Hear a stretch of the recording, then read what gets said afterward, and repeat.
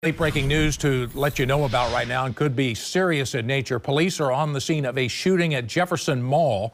WLKY Chopper HD is over the scene for us. You can see several areas that are already taped off with police tape. You can see this massive scene. Police have those areas around the outside of the mall, and we're told that uh, an ambulance is headed to the scene, but we don't know the extent of any injuries. We don't know if it happened inside or outside, but SWAT is on scene. Stay with us. We'll keep you updated.